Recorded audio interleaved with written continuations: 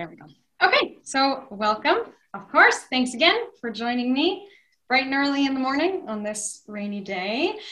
Uh, today's sleep topic is sleep hacking. So this sort of goes along with um, our concept of circadian rhythm and ties in nicely to the Ayurvedic clock. Ayurveda being the sister science of yoga that's more about lifestyle and how we should run our lives according to the rhythms of the day and of the season. Common sense things like um, maybe not eating so much spicy food in the hot weather, eat it in the cold weather, stuff like that. So, circadian rhythm goes along with that. Common sense if you are winding down for bed, don't blare loud music and turn all the lights on, that kind of thing. So, these are all my best tips based on our circadian rhythm and a little bit of Ayurveda. Uh, and sort of the, the overarching theme of all of these things uh, is again taken from this guy, Matthew Walker, um, who I've borrowed a lot of research from. He does a ton of interviews. He is a sleep researcher. This is his job to compile all the data. And he says that we think of sleep as flipping a switch, right? We just sort of turn it off at 9.59 and at 10 o'clock we should be asleep but it's actually more like landing a plane. It's this very gradual process. And for our purposes with our wake up yoga i think about it in the same way that we sort of think that wakefulness is more like flipping a switch but it's sort of like the plane taking off. So both the waking up and the winding down take quite some time. More time for some of us less time for some of us. On a gray, rainy day like today, probably takes more time to wake up and less time to wind down. Uh, so there is some change from day to day, but here we go. Here are my best tips. We'll start in the morning and then we'll talk about naps and then we'll finish with the evening practices. You will get a copy of my notes uh, in the email. And if I remember, I'll post this on the YouTube video as well. Okay. Morning. Okay, one of the best things we can do relates to our eyes. Flip on as much bright overhead lighting as you possibly can. I think I said this uh, before. Specifically, cool blue lighting is preferred to warm lighting. Overhead lighting, again, to stimulate the sense of morning daylight sun. And we'll come back to this idea, but two minutes of bright overhead light can make a difference, even better if it's two minutes of sunlight. The other thing we can do is increase our body temperature. So you can do this through a hot shower, your morning coffee, things that we're probably doing already. Um, you may, depending on the season, like to have something like hot water with lemon and cayenne and black pepper and honey. Tastes better than it sounds, depending on whether or not you like that once you get there. I think it tastes great. Um, we can also warm our body temperature up with exercise or any kind of movement. We'll do some non exercise movement today.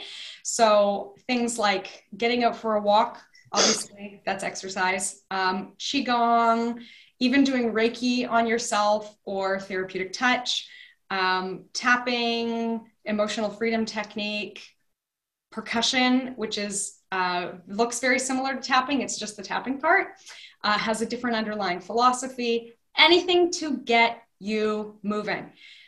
Repeating this idea as little as two minutes improves your mood and helps you fall asleep at night.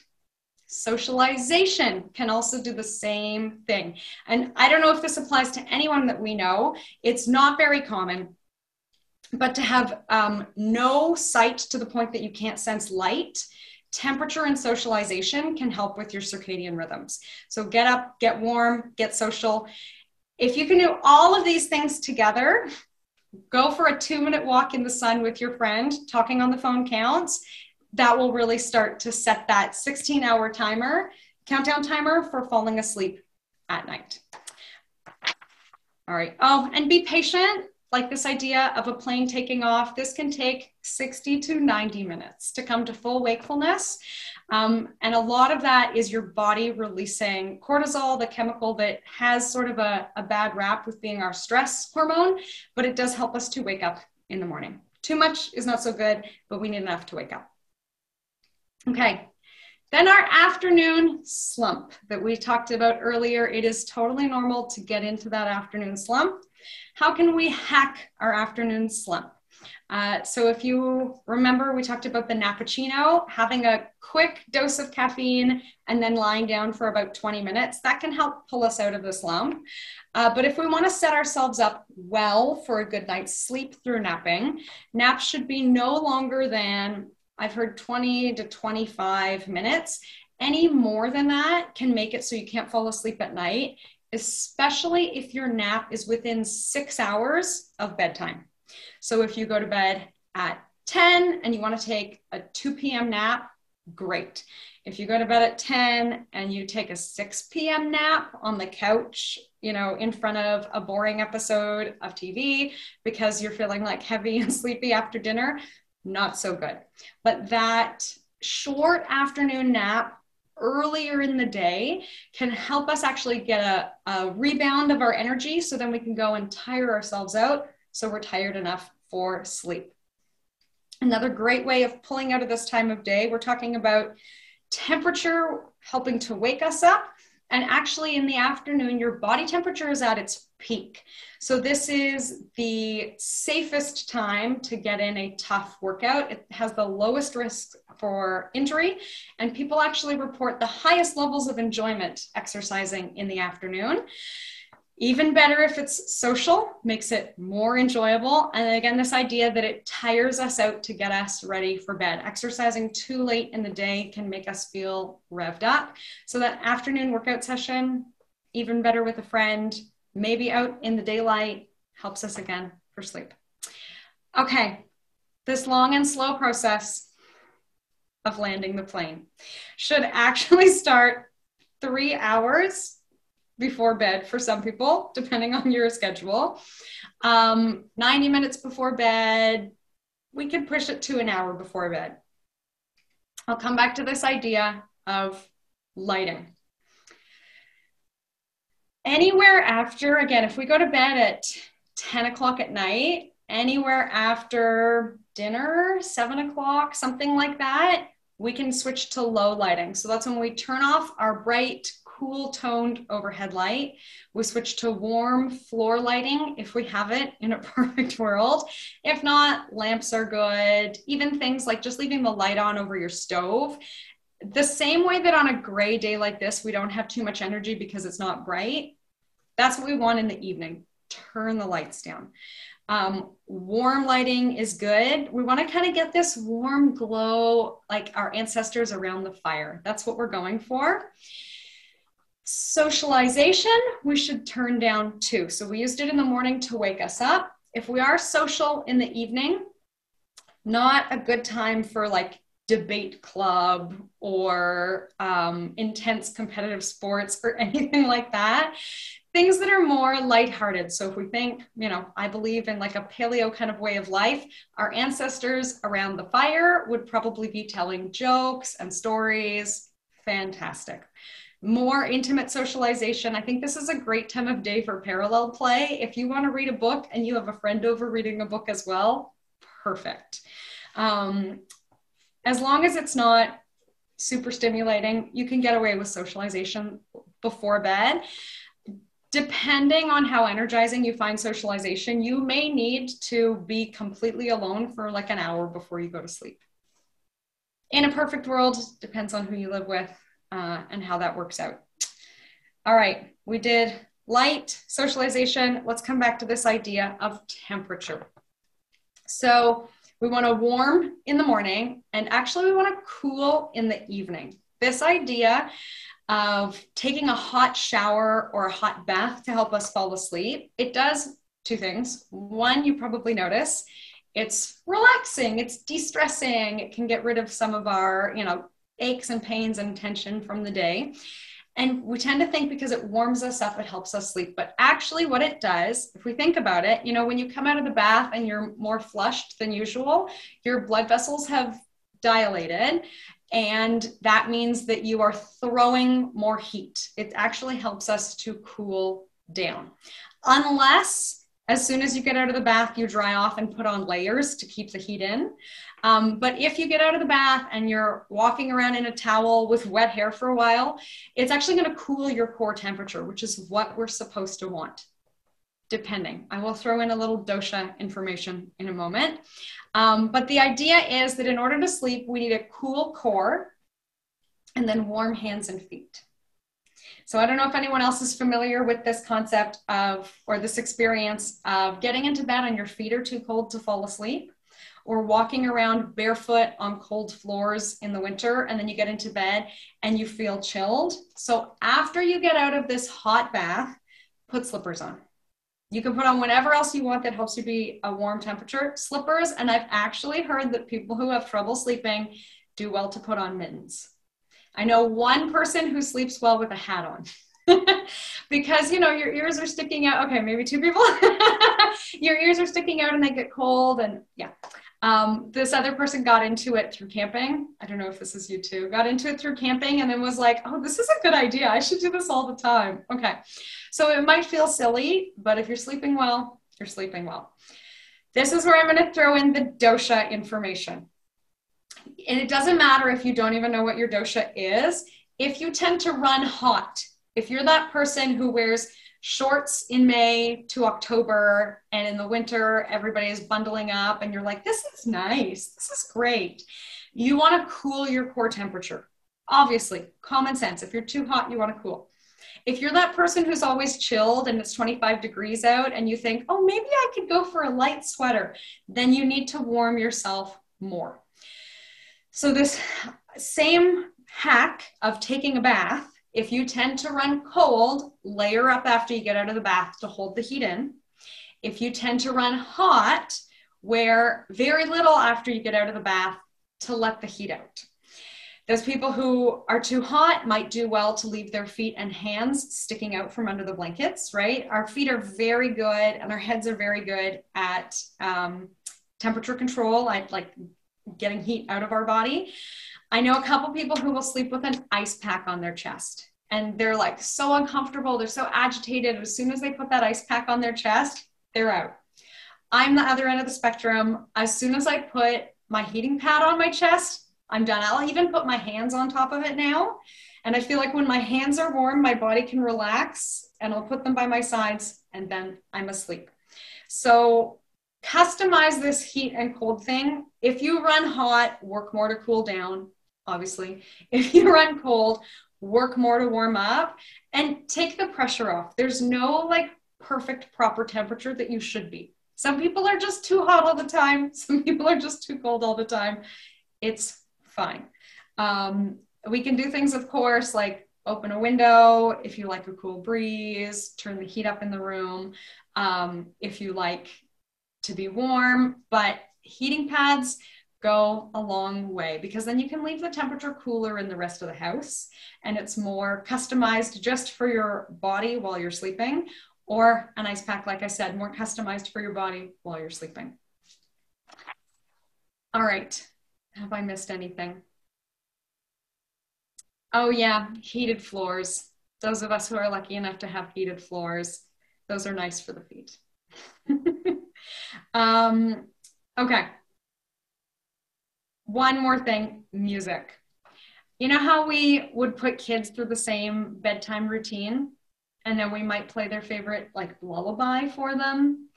Even as adults, we are the same. If you have that one song, and I know in the yoga world, we're often exposed to lots of yoga music, and one song might stick with you. If you're less of a yoga person, um, there's a ton of music out there. I can send you a link to my like sleepy wind down playlist.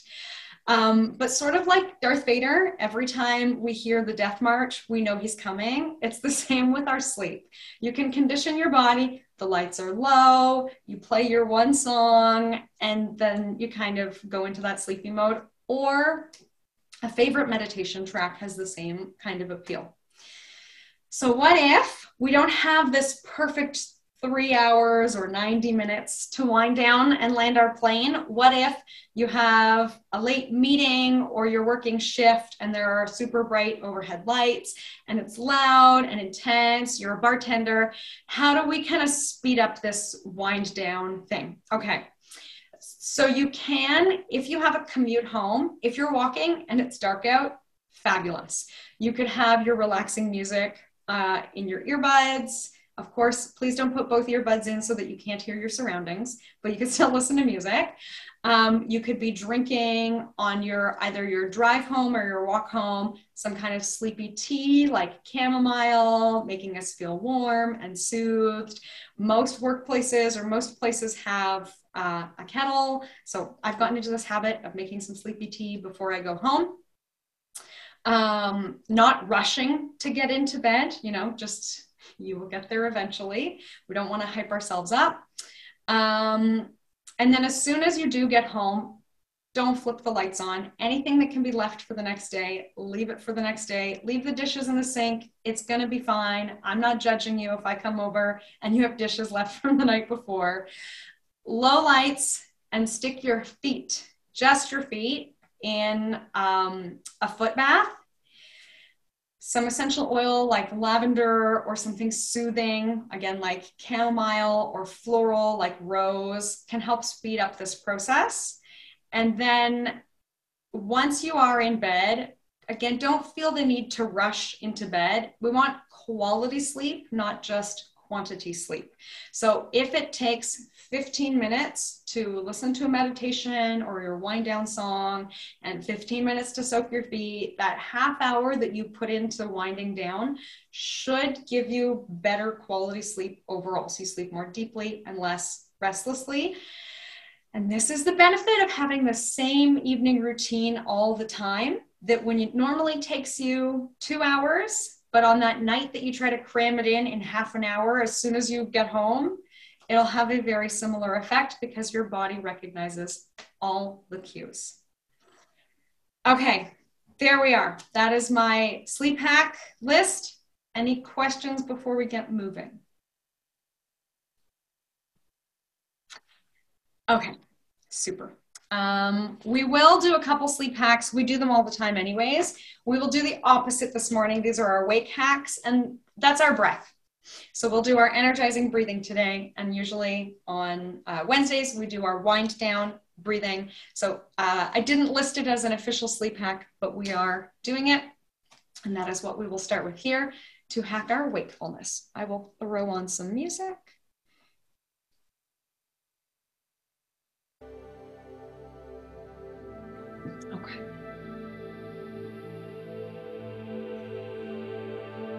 So let's position ourselves however we like. We can sit tall.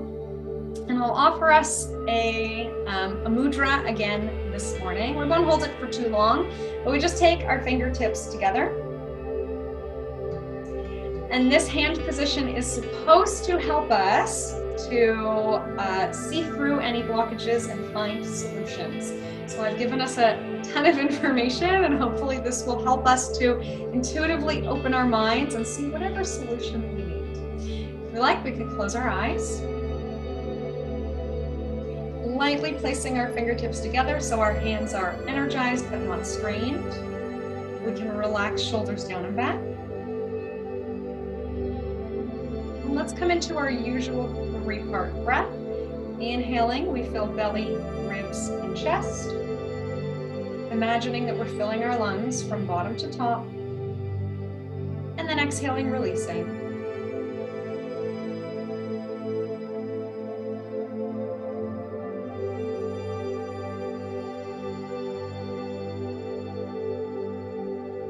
Going along with our mudra, maybe our intention for today is to intuitively find solutions, turning over a new leaf, inviting in new habits.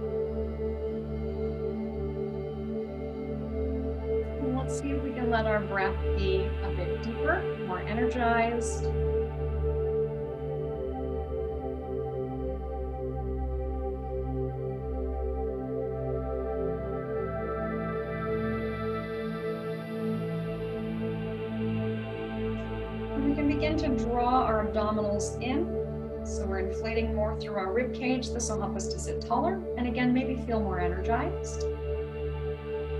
If our hands are becoming strained or tired from this position, we can drop them.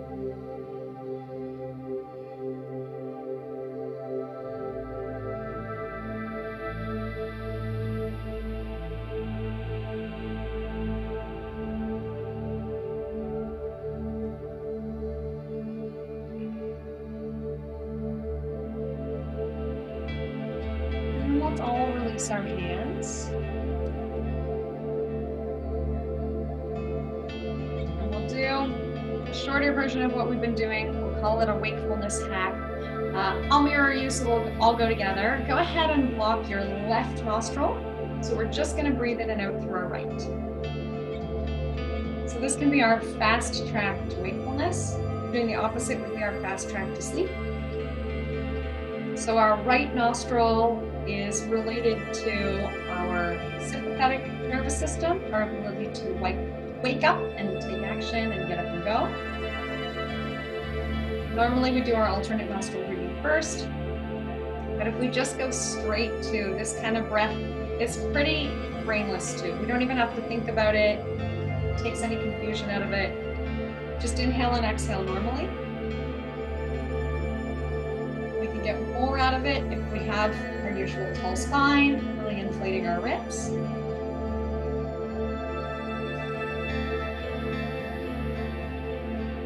Drawing our abdominals in with our exhale might help us to wake up a bit more too. And again, one of these recommendations, two minutes and you're good. If you're feeling really stuffy, we can do it as a visualization.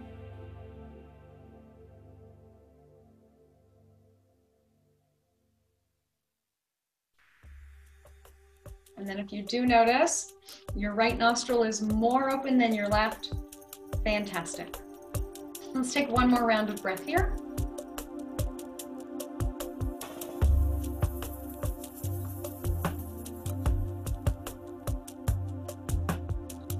We go. Might like to shake our hands off, let our breathing return to normal. Um, and we'll start, we could be seated or standing. I'm seated. If you're sitting on the floor, you're fine.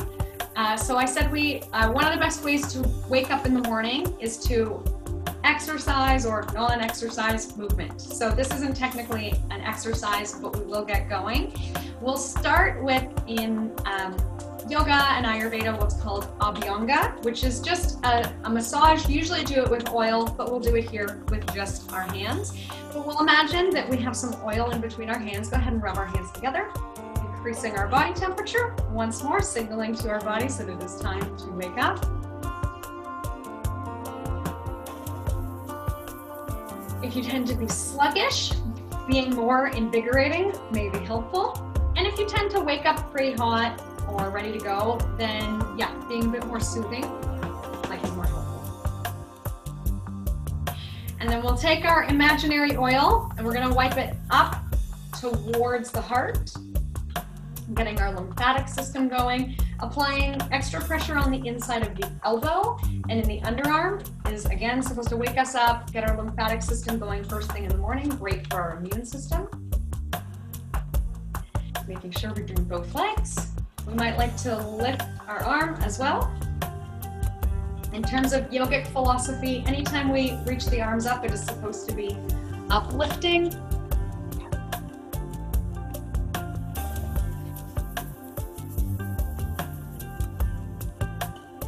We can get into the chest. We could, if we were doing this um, at home, technically we're supposed to do this before we get in the shower. We can do it afterwards. And you could use some lovely uplifting essential oil, maybe citrus or something like that. We can be pulling down on just behind the ear, these big muscles on either side of the neck. Keeping in mind that if you are one of those people who tends to really go 110%, relax here. So if you notice that you're like going as hard as you can, 75% is good. That's the Vata and Pitta types are not supposed to work too hard. Kapha types can make this more invigorating. Let's not forget, we have a torso as well, and we could go upwards towards the heart, sides of the waist, the belly. We can sweep up on our legs. The nice thing about not having actual oil, just having imaginary oil, is that we don't have to keep back, going back and refilling our hands. So if you were short on time and you just wanted to do your wakefulness hack, quick and easy, we don't even have to use oil.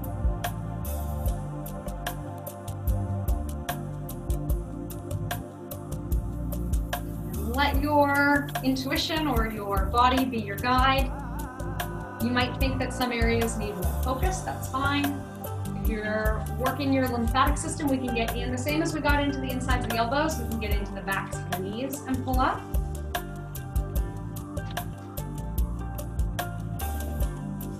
And then depending on what your hair looks like, scrubbing your scalp can also be a really nice one, which you can really get in there if you're not concerned about messing up your hair.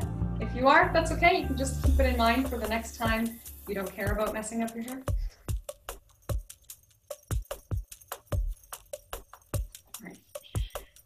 Whenever you're ready to stop that, stop that if you're working on a really good spot. Don't let me rush you, but we're gonna move on to percussion or tapping. And we're gonna start exactly where we just left off, tapping all over the head. So this one can be great to clear out your sinuses. The vibration created in the head can help our sinuses to drain which can also make us feel sluggish first thing in the morning if we have uh, congestion weighing us down. And again, let your body be your guide or let your intuition be your guide. There might be somewhere that feels really good to tap. We don't have to know why that feels good or why that works, just go for it. Back of the head, I would like just above the ears. I find that's nice. I know a lot of people like in the forehead. It's supposed to be anti-aging to get in under the eyes very gently.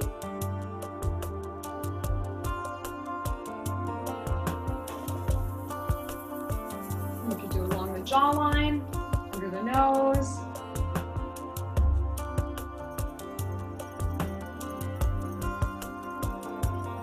And then again, feel free to keep going on whatever you like. If you do find a good spot that feels nice, stay there. But, okay, we're gonna start with, we're gonna uh, stick with our sternum for a while. So, my knowledge of anatomy is not 100%, but our thymus is behind our breastbone. And again, this is supposed to be good for our immune system. Waking up our thymus and our thalamus. And I don't remember which one it is that makes our T cells, um, but both are good for our immune system and waking us up first thing in the morning. Maybe it's our thymus. Every time I have to teach this, I'm like, I don't know, I need to write it on the back of my hand. but we are waking our systems up. It's all good. We can go across our collarbones.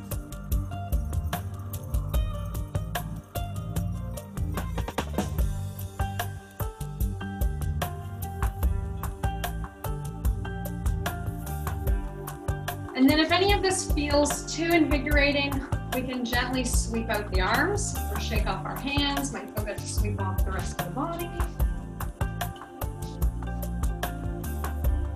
All right, we'll do one more seated and then we will come up to standing. So we'll take our arms overhead and we're gonna wake up our lymphatic system in our underarms. So we're gonna kind of thump our elbow down into our ribs and then repeat. Okay, there we go. So we could do this quite gently. Like if you have um, frozen shoulder or something like that, it might look more like this. If we have a full range of motion, perfect. If you have a lot of gusto, you can really pull down and make actually like a thumping noise against the rib cage. And we can do a quick breath as we pull down. So inhale, exhale, inhale, exhale.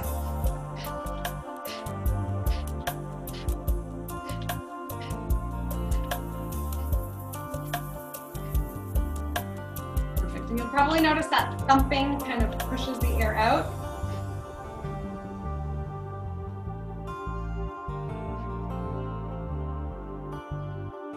All right, let's go another three, two, last. Great. Might feel good to roll the shoulders out. Again, keep in mind if you notice you're really straining this whole time, then that's a good note for yourself that morning movement should be gentle, maybe working at 75%. If this feels invigorating, perfect. That's a good note for yourself to get moving when you wake up to shake off that sluggishness. We'll stand up if we're seated, and we have one more percussion technique to do.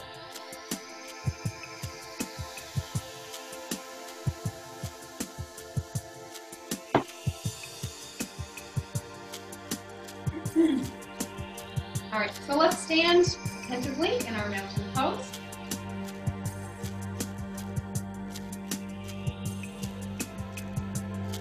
Perfect, we'll keep our tall posture. We're not gonna do too much with our body, but we're gonna find our hip bones, the bony part in front of your hips. And this is the last place that we'll do uh, percussion in our class today.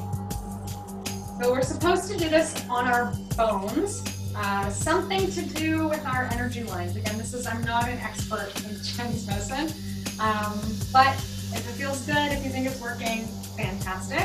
We could also do in and around the rib cage and across our uh, solar plexus, tensing our abs.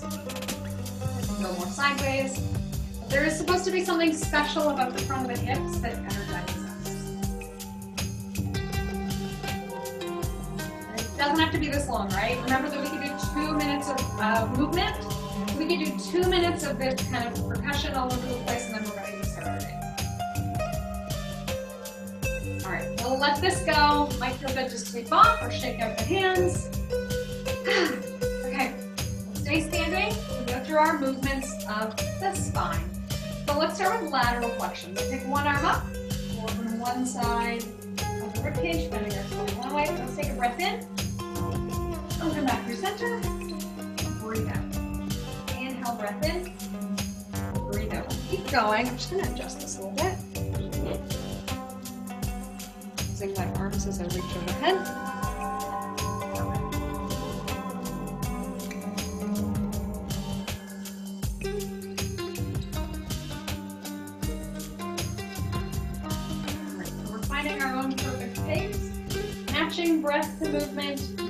Another way of waking ourselves up in the morning.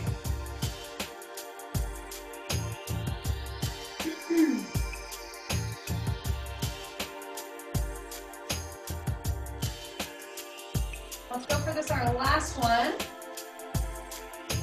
Come back through center.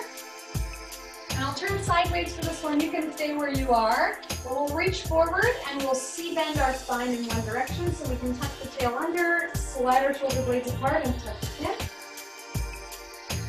Perfect. And then let's go the other direction. We'll open up, lift the chest, untuck the tailbone, lengthening out the back of the legs, and in an optimistic, confident posture, we'll lift the chin a little bit. Okay, that's our pattern. Let's go back and forth. We can take a breath in as we reach forward. Breathe out to stand tall, and then take a breath in as we lift the chest.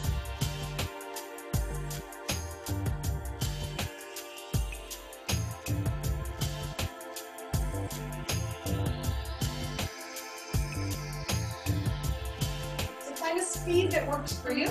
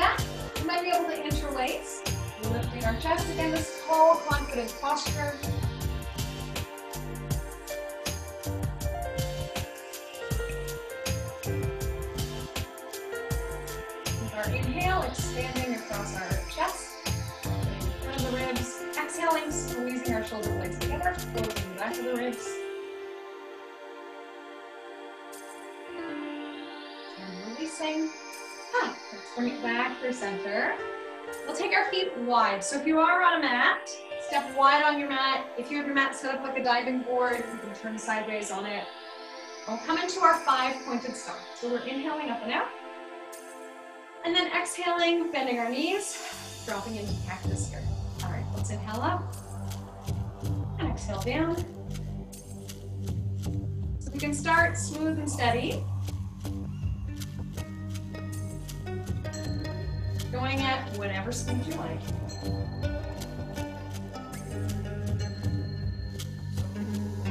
I'll add on something to build um, intensity and heat. So in um, some of the lore of yoga.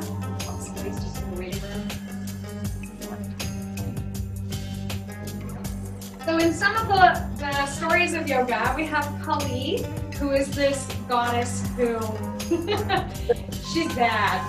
Like if you if you want to get someone, call her.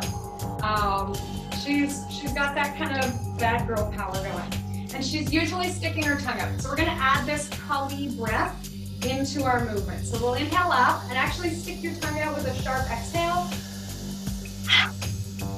Let's do a few like that. And it works even if you feel silly or if other people are there. You can even imagine you're doing it,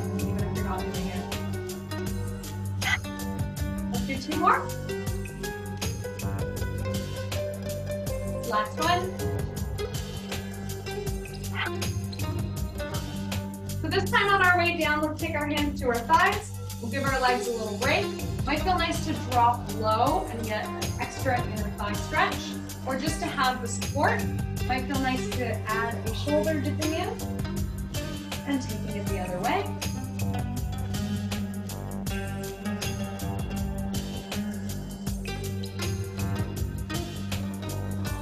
Ready to come back to center.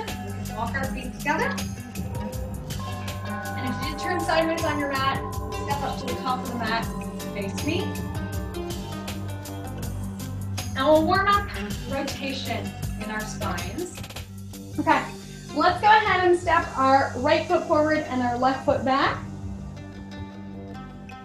So if we have our right foot in front, we can take our hands to our heart and we're gonna twist and turn towards the right and then back to center.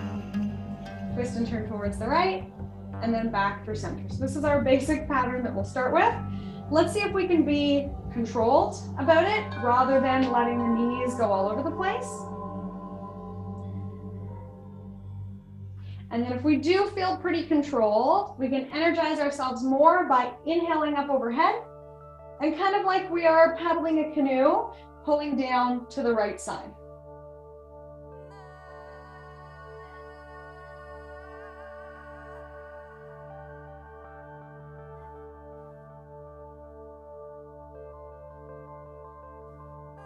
Let's do one more. We'll come back up. We'll bring hands to heart center. And let's step to the top. We got the other side. Here we go. We'll take our right foot back, left foot in front. Since we have our left foot in front, we're going to be turning to the left. We'll keep our hands at heart to begin. We might inhale to prepare and then exhale to twist. And with our twist, let's make sure that our knee is still over our ankle. So we'll come back through center. And each time we twist, the legs stay where they are. We're really only moving from our rib cage up. Yes, of course, we could do this holding on to something for support. We could do this seated in a chair and just work on the upper body. Whatever we need to get us there. Once we feel steady and stable, here we go. We can inhale up and then down beside us.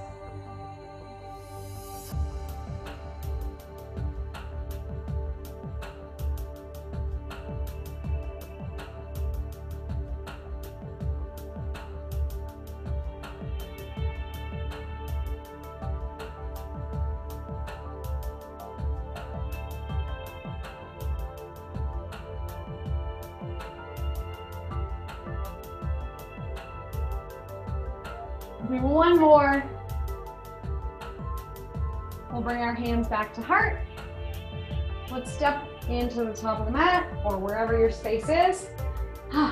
We're gonna do just the leg part of that movement. We've done this before. We're gonna alternate a giant step back. Doesn't matter right or left. We can have our foot flat or we can have the heel lifted. But this is our basic pattern. stepping back one at a time. And we can add on opening our arms to cactus. We can inhale to open and exhale to close.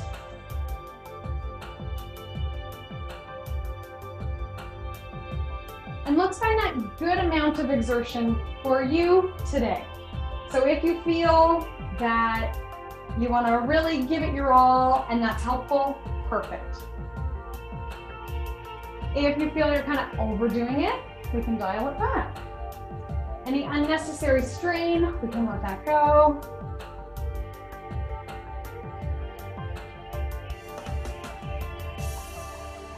And then noticing how we feel after we do this kind of movement too. So if you felt really good to get going and give it 100%, and then you're feeling drained afterwards, again, that's a tip to maybe not go so hard. And it's also a tip that, yeah, maybe you do need a nap if exercise is just completely exhausting. That's okay.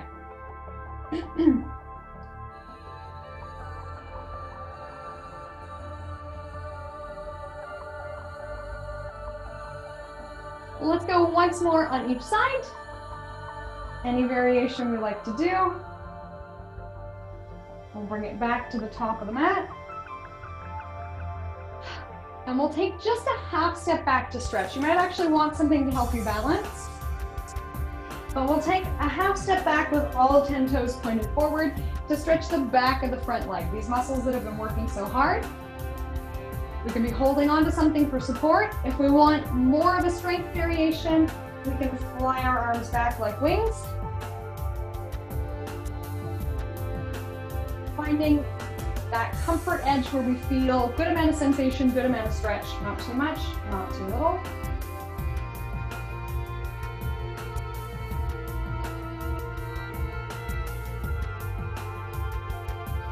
let's bend the knee before we come up, pressing into our front heel and stepping forward to change sides.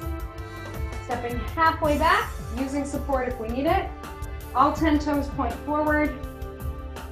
Our front knee can be bent or straight.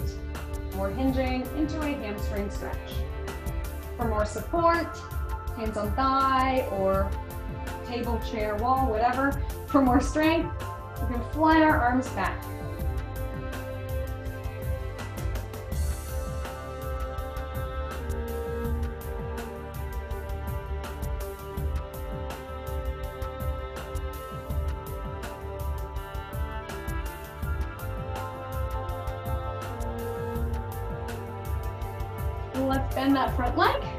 Pressing into our heel, pressing into our heel to stand up, bringing our strength. Let's do some chair flow, and then we'll start to wind it down. So we've probably seen chair pose before. It looks like a squat. we should be able to give our toes a wiggle. Again, keep that weight in our heels so the back of the leg, those muscles kick in. Let's lift and lower drawing up from the heart as we stand. we can start smoothly with the arms, but give us an option to make it more invigorating.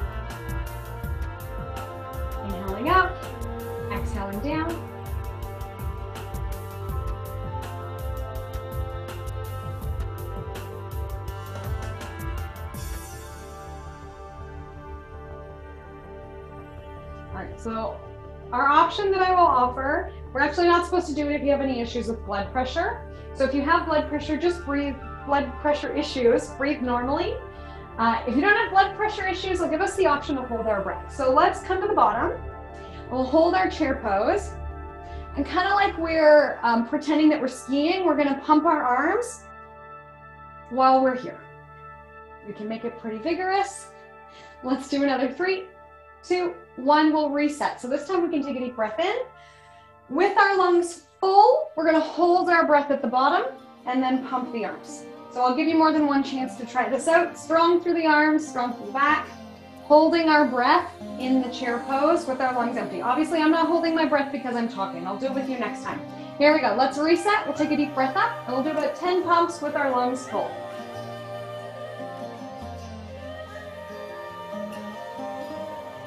Three, two, one. Let's reset. Big breath up. We'll bring our hands to heart. let's take a moment to check in and see how we're feeling. I like to take hand to heart and belly, noticing how that breath retention worked for you. You might feel great, you might feel awake, might not feel so good. That's okay. We don't have to like every technique we do. Take what you like and leave what you don't.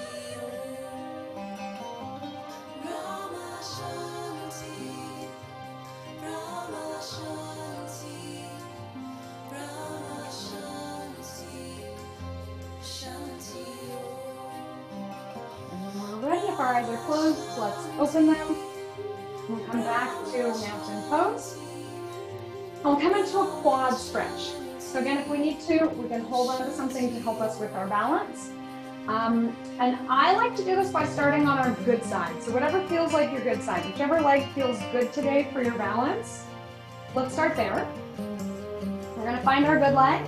And we're gonna loosen up our shoulder to begin. So whichever leg feels the, the best to balance on, we're gonna circle the opposite arm. I'm feeling pretty good on this leg, I'm gonna circle the opposite arm, which means I could be holding onto something with the other arm. So if your right foot feels like your good foot, we're circling the left arm. And if you get it backwards, I promise you will be okay as well. Let's leave our circling arm up, around, and back.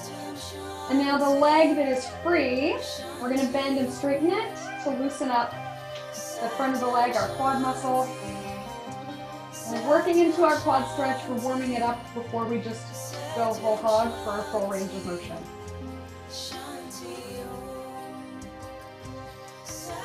And then yogi's choice, we could leave it here, sort of like a flamingo. We might like to reach for our ankle. We could also be reaching for your sock or your pant leg, whatever you have back there. But no matter what option we choose, we're still lengthening from shoulder to knee in the front of the body. We don't have to make contact. And any of these sort of back bends, front body openers, again, are supposed to be hacks for wakefulness. And then depending on your yoga practice and what you do in a normal day, your quad stretch might look fantastic. Maybe your foot's touching your head. I don't know. Whatever variation you like, let's find a way to be okay with it. We'll take a couple more breaths here. Lifting the heart, tall and confident. And then we're ready to release. Might need to give it a shake off our second chest side. Here we go, that same longish kind of process. So find the leg that we wanna balance on. Our other leg is free. Our other arm is free. Here we go, circling it up, opening the shoulder.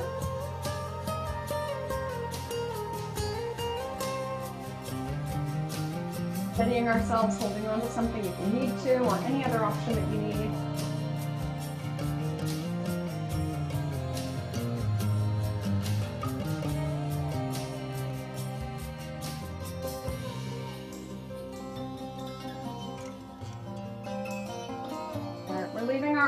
Around, and back. And then we're ready to warm up the leg. Bending and straightening.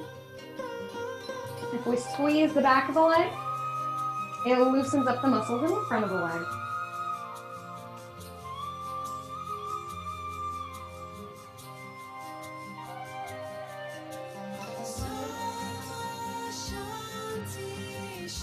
We're ready for our quad stretch. We can leave it open this will give more of a strength sensation. We can hold our leg for more of a stretch sensation. Whatever we choose, let's give it a little self-esteem. And we'll lift. Making sure we're breathing through it all.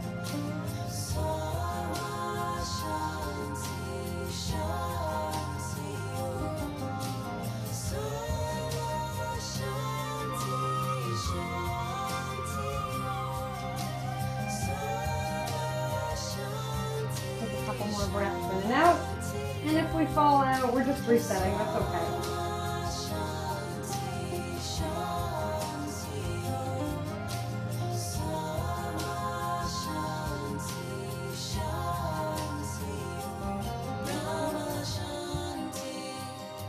We ready to release?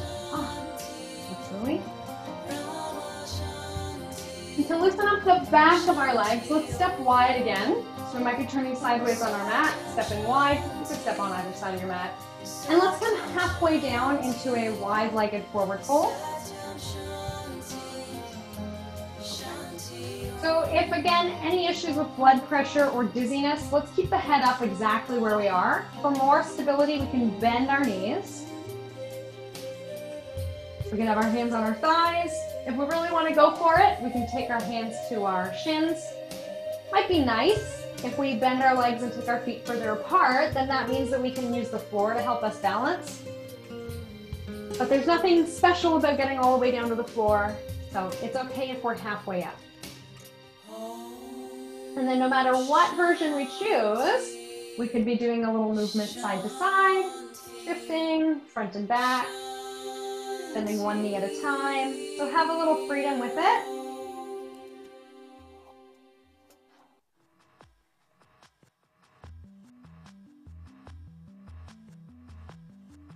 Let's give it maybe another 10 seconds.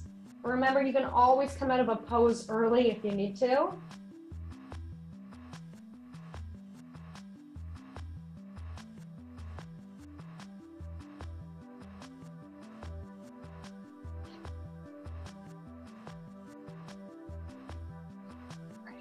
ready, we can use our strength to come back up.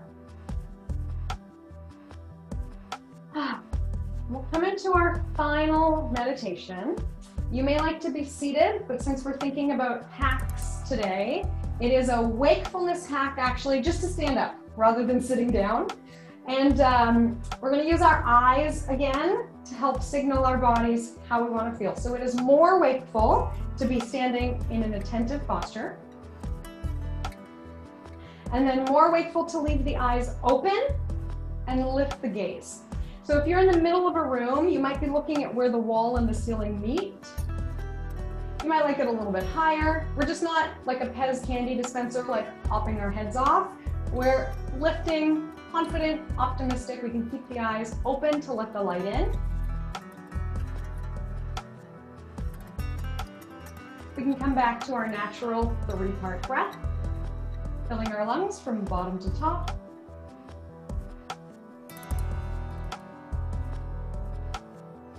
With every breath in, imagining that first we fill the bottom, our belly expands, then the middle, our ribs expand, and the top, and our chest lifts. And notice how this works for you, but if we want to feel more peaceful, we can leave the chin lifted, but close the eyes. So we're not so much on high alert here, we're more peacefully engaged. Course, if there's any kind of dizziness or blood pressure or vertigo stuff again, yes, we can leave the eyes open. And if we prefer, we can have the eyes closed here. Let's see if we can make our breath deeper and fuller.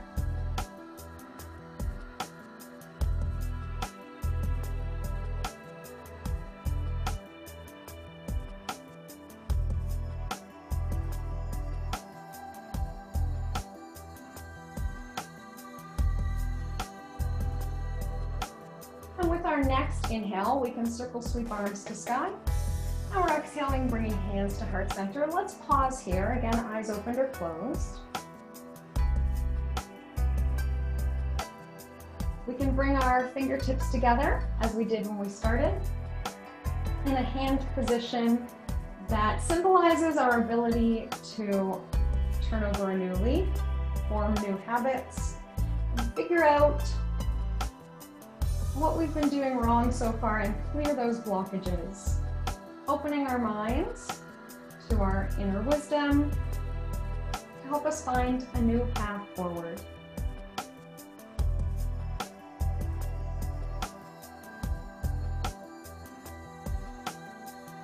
After all this movement that we've been doing, finding some steadiness here.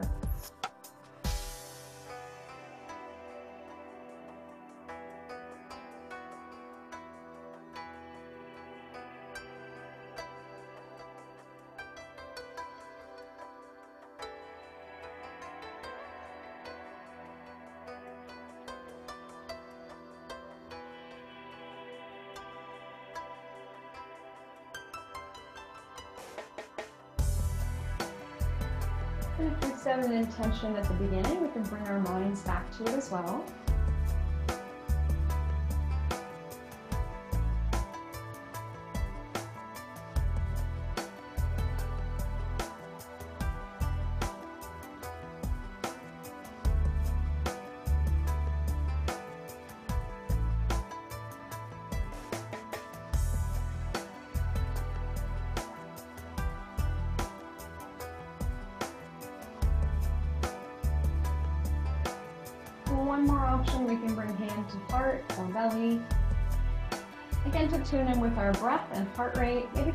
Heartbeat slow down a bit here.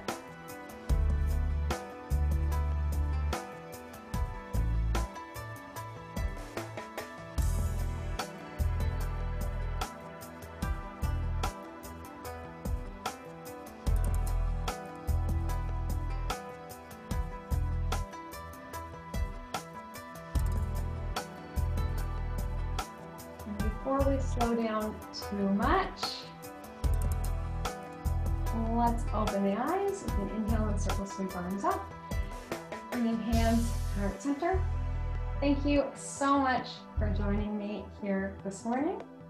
Namaste.